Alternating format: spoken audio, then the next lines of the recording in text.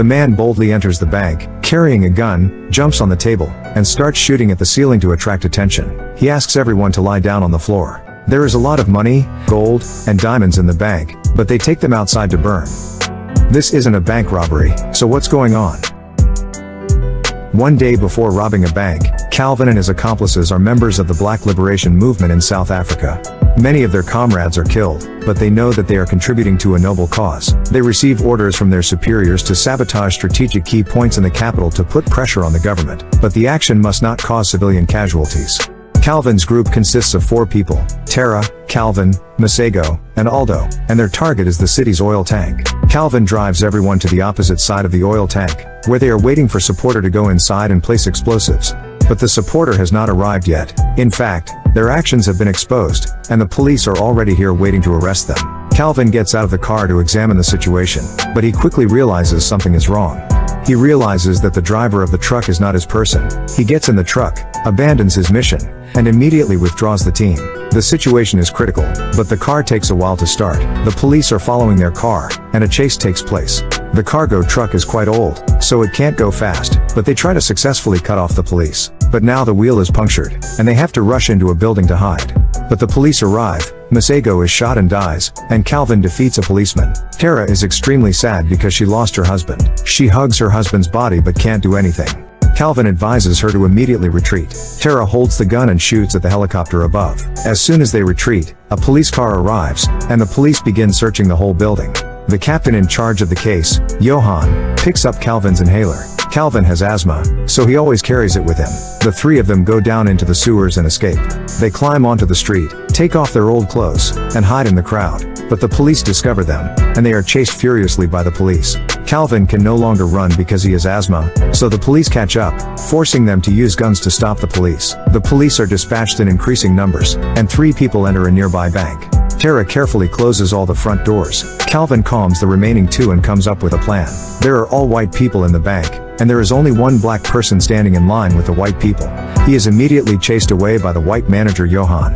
Christine is the supervisor here. She is very sympathetic to black people, so she proactively steps forward to help this guy. The police are dispatched and surround the bank. An alarm is raised because they know there are many white hostages inside. Calvin stands up on the table and fires his gun into the air and asks the hostages to cooperate, promising that he will not kill anyone if they obey.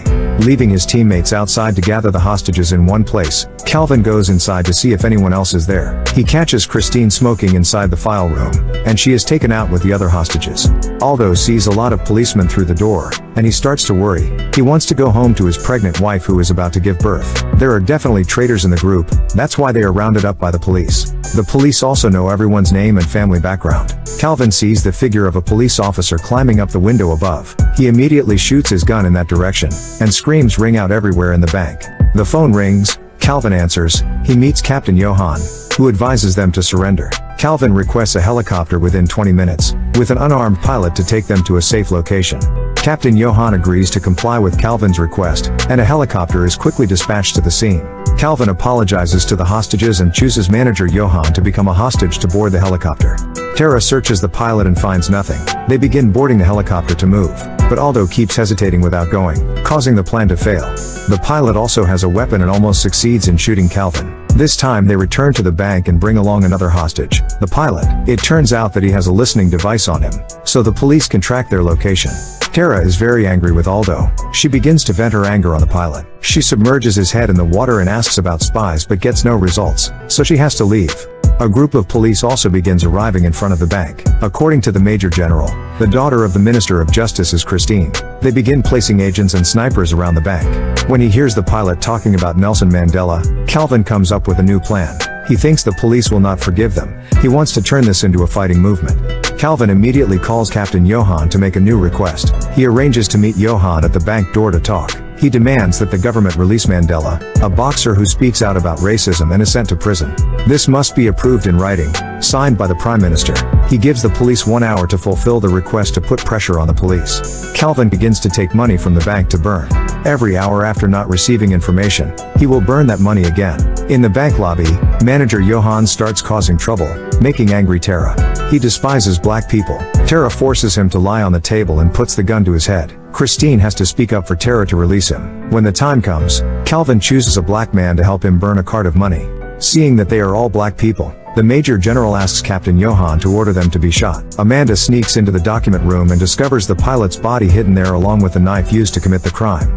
Calvin doesn't see Amanda anywhere and goes looking for her, discovering that she is looking for a way to escape. Amanda is discovered and immediately pulls out a knife to threaten Calvin but fails. She is taken back to the hostages.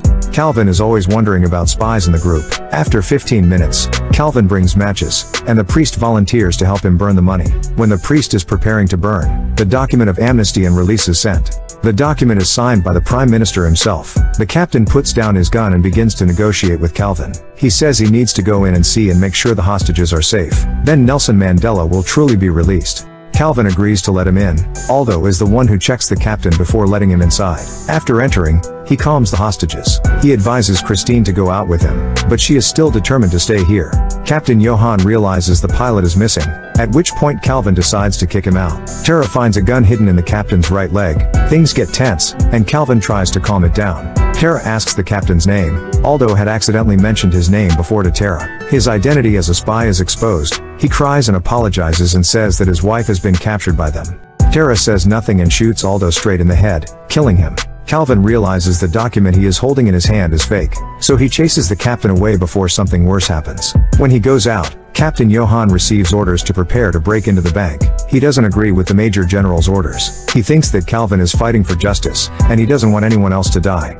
But the Major General believes that black people are evil people. Calvin begins to break down because everything he is doing is failing. Christine comes over, she tells Calvin about her black nanny. She's like a second mother who taught her a lot about equality. She wants to help Calvin. Christine follows Calvin to the bank door. She also starts chanting slogans to free Mandela. A sniper pulls the trigger, and the bullet hits Christine. Calvin takes her inside. Her situation is extremely serious and cannot be survived. The sniper is taken to the captain, but the major general takes him away. He promises the sniper he will take care of him and let him go. Amanda takes off her wig to reveal her real hair. She is mixed black and white. She brings a glass of water to Calvin and tells him about the suffering she has had to endure because of this racism. Calvin's parents were also shot dead by the police even though they knelt down and begged for their lives, which makes Calvin determined to change this unfair regime. Captain Johan calls to inform Calvin that the Major General is sending a special task force. They intend to kill both Calvin and the hostages in it. Calvin quietly hangs up. He lies to everyone that the government has agreed to release Mandela, and everyone is happy. Only Tara sits still. They release all the hostages so that no one else will die. The Major General orders the special task force to go inside, and a firefight takes place.